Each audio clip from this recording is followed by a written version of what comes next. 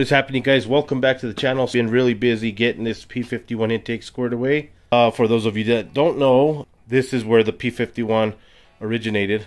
The intake that I run on my car. It all started off as a prototype. Kind of grew into something that's gaining traction out there. Obviously because it is proven to enhance the performance of the third gen uh, Coyote.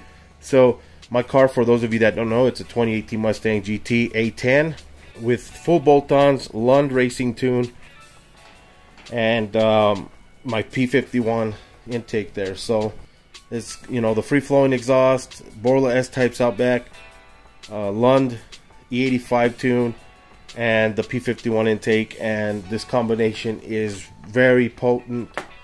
Um, here at uh, 5,700 feet above sea level and 7,000 to 8, 9,000 DA. Sometimes it's just terrible conditions for making power out here with the heat and everything in the summer. You know, 470 wheel horsepower is pretty respectable considering all of that. Uh, I do have a ported 18 intake manifold coming. I do not want to go Cobra Jet because the car, I don't feel like it's worth revving up to 8,000 plus. Just putting extra wear and tear on the engine just to gain a few horsepower here and there, especially uh, when all the horsepower is made all to the right of the needle, you know, the higher RPM band.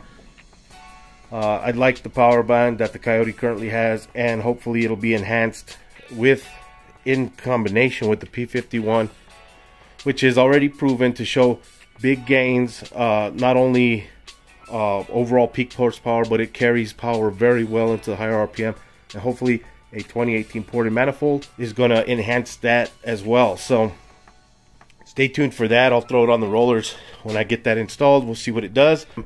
And uh, so very proud of the car. Very happy with the way it's running. No issues. There is not one problem with this car.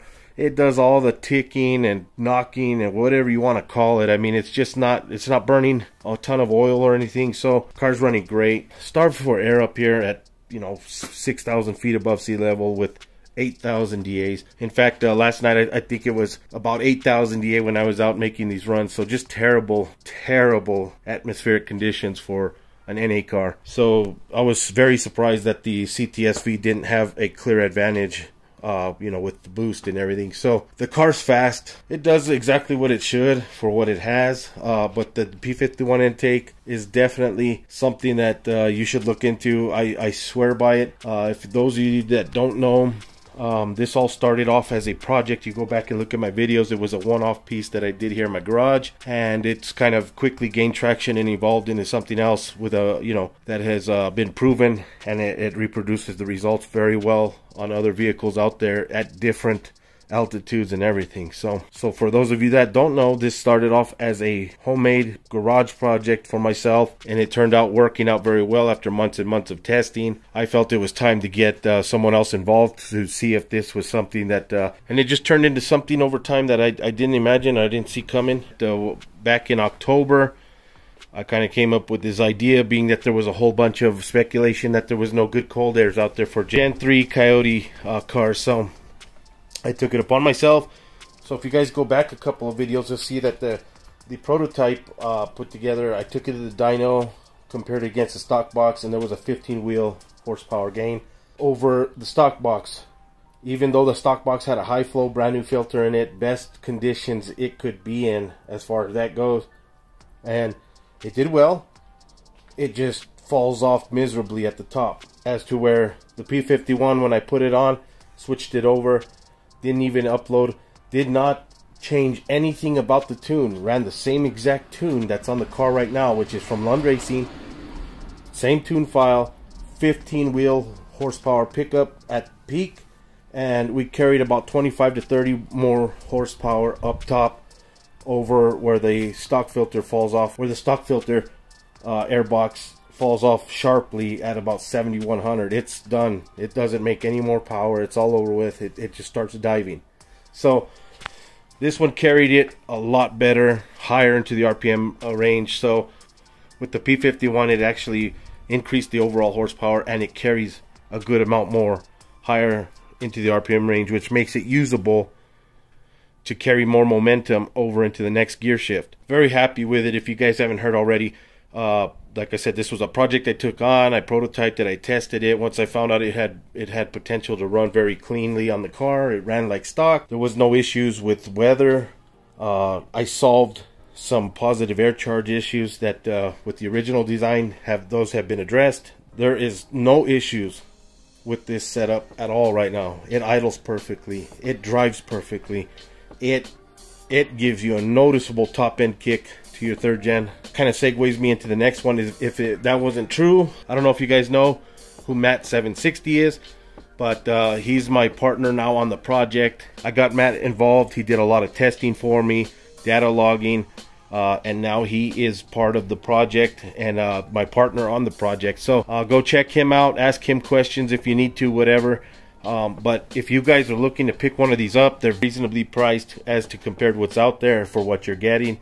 I can guarantee the results on, on my setup um, as to where the other ones are just that claims. Because I'm going to tell you right now, uh, I what I did on the dyno was I just swapped an airbox out for the P51 and without tweak to the tune or none of that uh, smoke and mirrors, the car just picked up power. That was it. There was nothing else done to the car. I didn't load any more tune files, did not alter anything.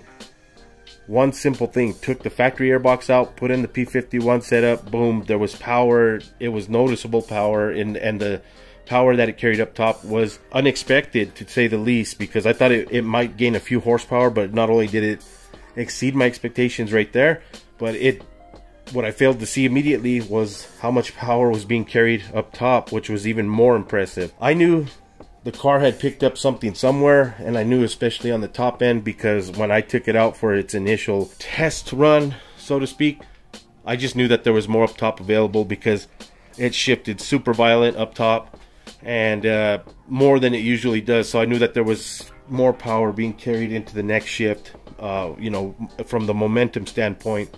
If you guys are interested I've got kits ready to go. Hit me up. I'll get them out to you. They're reasonably priced uh, for what they do, for the price, it's unbeatable, bang for buck. Uh, I promise you that. You'd, you'd, be hard pressed to find anything better than that. Um, and it's guaranteed to work with a stock idle, no rev hang, no no stupid stuff. IATs are fantastic, drivability, and idle is fantastic. I've gone through car washes. We've put it through adverse weather, snow, everything. It did fine. There was no issues with it whatsoever. So if you're interested, guys, P51, you know I can hook you up if you want to uh, do something in a comparison video, something like that. I'm also open to that. Let me know. And if you guys haven't subscribed already, go ahead and hit the subscribe button. Turn on your notifications. That way you won't miss any more content like this. Um, but I'm, I'm telling you guys, I'm not trying to be a salesman here. I'm just pointing out the fact that I have proof that this works. Alright guys, I'm out. I'll see you in the next video.